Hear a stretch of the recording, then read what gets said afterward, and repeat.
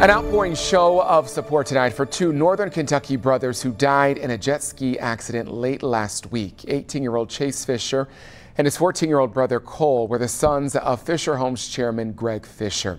Local 12's Luke Jones is live outside St. Joseph Catholic Church in Crescent Springs, where a prayer service for those two young boys wrapped up not too long ago.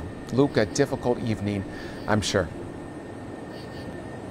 a very difficult evening, but people here, they gained some peace coming to light candles in honor of those boys' memories. And while no cameras were allowed inside, I have to tell you, even standing out here, you still got a sense of just how many lives Chase and Cole Fischer touched.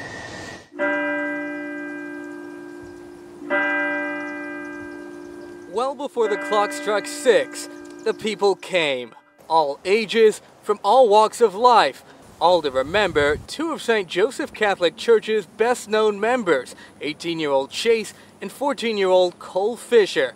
Both drowned at Lake Cumberland Friday when a boat collided with their jet ski. You, you could never find him without a smile.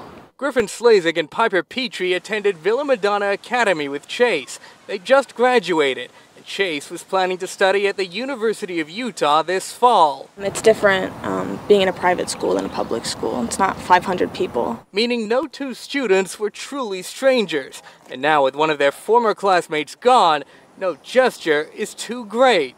Like the flowers and class picture left at Chase's old parking spot. We have blocks that we paint for the college that we're going to, so he had a block there, but we added another one for him and his brother. Not everyone here knew the Fischer boys as well as Petrie. Some didn't know them at all. Still, they felt compelled to offer up a prayer. I just think as a parent, it hits home. Just you know, just can't imagine how difficult that would be. So um, yeah, just want to pray for him. A visitation for the boys will be held here at the church on Sunday, followed by a funeral service on Monday. Live in Crescent Springs, Luke Jones, Local 12 News. All right, Luke, thank you so much. And Cole Fischer planned to attend Elder High School this fall. At tonight's service, there were plenty of people wearing their Elder High School purple. You can always find our Local 12 stories right here on YouTube. Don't forget to tap subscribe, and then you can get all the notifications.